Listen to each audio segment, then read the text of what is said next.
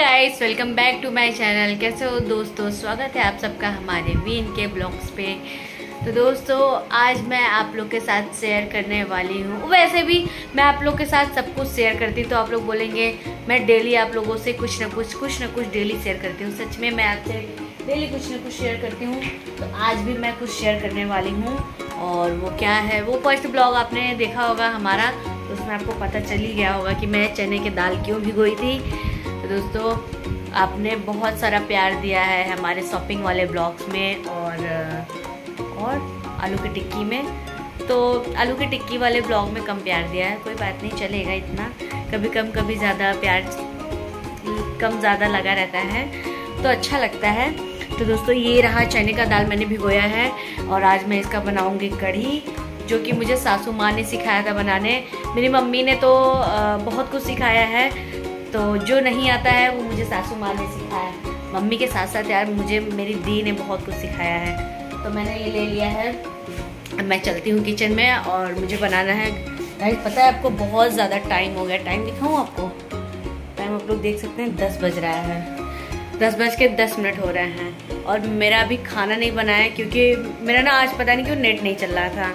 तो मैं video upload कर रही थी और अपलोड कर रही थी, फिर उसके बाद एडिटिंग वगैरह कर रही थी तो हो नहीं रहा था। तो हो नहीं रहा था तो मुझे ना बहुत गुस्सा आ रहा था कि पता नहीं क्यों हो नहीं रहा, नेट नहीं चल रहा है। मुझे बहुत गुस्सा आ रहा था। बहुत जल्द दोस्तों, हम लोग वाईफाई लगवाने वाले हैं। देखिए कब लगवाते हैं। तो इसी, यही सब के चक्कर में मतलब इसी बीच मुझे बहुत ज़्यादा टाइम लग गया एडिटिंग वगैरह करने के लिए अपलोड करने में। तो अभी टाइम मिला है तो अब जा रहे हैं बनाने। और वैसे भी आपको पता है वो रात में आते हैं तो मैं चाहती हूँ ना जितना लेट बनाऊँ उतना अच्छा है, क्योंकि बार बार गर्म करना अच्छा नहीं लगता है। और पता है बार बार गर्म करने से ना टेस्ट भी खराब हो जाते हैं सब्ज़ी का। तो मैं जा रही हूँ किचन में, थोड़ा पानी पी लेती हूँ। और फिर उसके बाद आप सबको दिखाती हूँ कैसे बनाऊँगी, ठीक है? बने रहिए हमारे चैनल पर तो दोस्तों, हम आ चुके हैं किचन में और मैंने अपना पकौड़ी का जो मसाला होता है मैंने तैयार कर लिया है। ये रही चने की दाल और इसमें आप लोग देख सकते हैं जीरा है, लहसुन है। अगर आपको थोड़ा सा चटपटा बनाना है पकौड़ी को ना तो दो चार मिर्ची भी डाल सकते हैं। मैंने चार मिर्चा भी डाल दिया है। अब इसको हम चलते हैं मिक्सी में चलाने। दोस्तों, मैंने जो है पिछले मैंने दिखाया नहीं और मैं भूल गई, इसमें मैंने पलट दिया है। हाल ही में एक पलट दिया है। अब मैं जा रही हूँ इसको निकालने। फिर उसके बाद इसको थोड़ा सा नमक डाल के ना थोड़ा सा अच्छे से इसको मेल्ट कर लेंगे, फिर चलाने के बाद। फिर मैंने तेल भी रख दिया गरम करने के लिए। तेल हमारा गरम हो जाएगा, फिर उसके बाद हम छानेंगे। और दोस्तों, आपको ना सीधा छान के दिखाते हैं, क्योंकि आपको पता है एक हाथ से वीडियो बनाना, फिर एक हाथ से सूट करना मतलब पकौड़ी भी बनाना अकेले नहीं हो पाता है ना? तो मैं चाहे तो रिंग लाइट में भी लगा के कर सकती हूँ बट वहाँ से यहाँ रिंग लाइट कौन लेके आए और पता है रिंग लाइट थोड़ा भारी भी है। तो इसीलिए मैं सीधा बना के मतलब पकौड़ी को छान के, फ्राई करके तब मैं दिखाऊँगी। ठीक है? अब तो आप लोग बने रहिए। दोस्तों, सच बताएँ तो बहुत गर्मी है, बहुत ज़्यादा गर्मी है किचन में। कि मैं क्या बताऊँ? तो पकौड़ी आप लोग देख रहे हैं उधर फ्राई हो रहा है। तो इतना पकौड़ी मैंने निकाल लिया है। मतलब ये एक बार की पकौड़ी है, दूसरी बार मैंने डाली है। पकौड़ी दोस्तों, आप लोग सोच सकते हैं, थोड़ा मैं ज़्यादा इसलिए ज़्यादा क्वान्टिटी में बना दी क्योंकि ना उनको ना, थोड़ा सा अलग से पकौड़ी खाने में बहुत अच्छा लगता है चाय के साथ। तो मैंने थोड़ा सा ज़्यादा पकौड़ी छान लिया है और ये रहा मसाला दोस्तों। मैंने आपको मसाला नहीं दिखाया क्योंकि बहुत ज़्यादा गर्मी लग रही थी। इतना ज़्यादा कि कोई सीमा नहीं है। इतना ज़्यादा गर्मी में जल्दी जल्दी करते करते दोस्तों मैंने आपको मसाला बताना भूल गई कि मैं क्या क्या डाली हूँ। मैं बता दूँ, मसाले में मैंने डाला है सूखा धनिया, जीरा और लाल मिर्च और लहसुन। बस। इतना डालने के बाद और हाँ हल्दी। हल्दी, फिर उसके बाद इतना मैंने पीस दिया है और मैं जा रही पकौड़ी निकालने और इधर मैंने चावल भी रख दिया है, चावल भी हमारा हो रहा है और तब तक मैं पकौड़ी निकाल लेती हूँ, फिर आप लोग से मिलती हूँ। तो गाइस आप लोग देख सकते हैं किचन में कितनी गर्मी है, बहुत ज़्यादा गर्मी है। और बाल तो पूछो ही मत यार, बाल तो एकदम चेहरे पर आ रहा है तो गुस्सा आ रहा है, इतना गर्मी है। तो दोस्तों, ये मैं बताने के लिए मैंने फ़ोन उठाया है, गर्मी के गर्मी के लिए नहीं। तो ये मैंने एक्स्ट्रा बचा रखा है इसलिए, क्योंकि मुझे उसका ग्रेवी भी बनाना है। तो ग्रेवी के लिए मैंने बचा रखा है इतना। पकौड़ी हो गया, चावल हो गया, चावल मैंने बंद कर दिया है। तो मैं अब जा रही हूँ मसाले को फ्राई करने। तो मसाला फ्राई करके मिलते हैं। दोस्तों, मैं बार बार बोल रही हूँ कि पकौड़ी छान के मिलते हैं, लेकिन बीच बीच में अगर मुझे टाइम मिल जा रहा है ना, एक मिनट भी तो मैं सोच रही हूँ आप लोग से थोड़ा सा शेयर कर दे कि मैं क्या कर रही हूँ, क्या नहीं कर रही हूँ। ये लिपस्टिक शेड है जो मैंने आप सबको पिछले वीडियो में दिखाया था। मैंने वही लिपस्टिक लगाया है।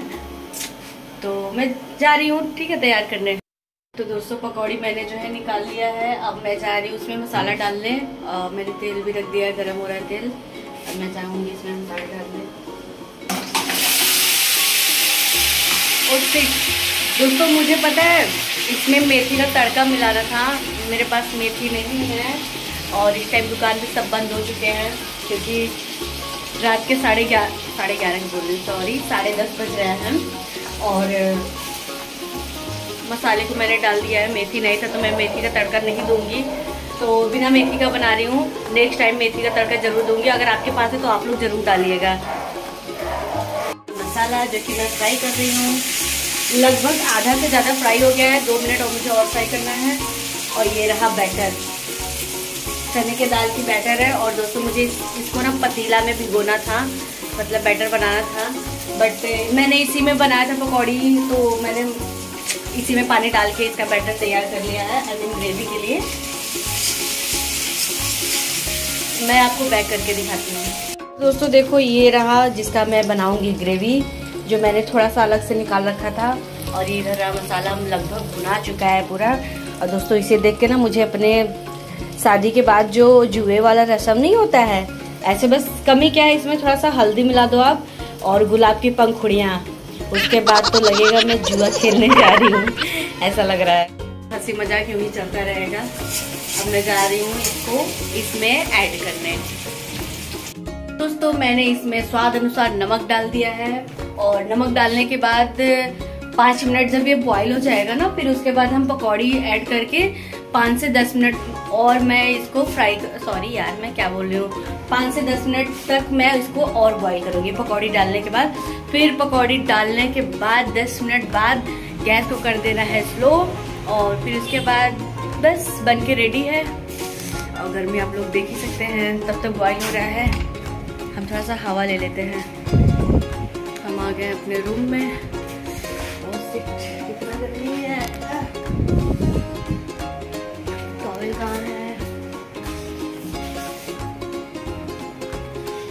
यार, आप सबका भी हालत ख़राब हो गया होगा ना किचन में। जब मेरी इतनी हालत ख़राब है जो कि किचन मतलब अच्छी जगह पे है, ऐसा नहीं है कि हाँ नहीं, अच्छी जगह पे नहीं अगर किचन बालकनी में होता ना तो और अच्छा होता। गर्मी पता नहीं चलता।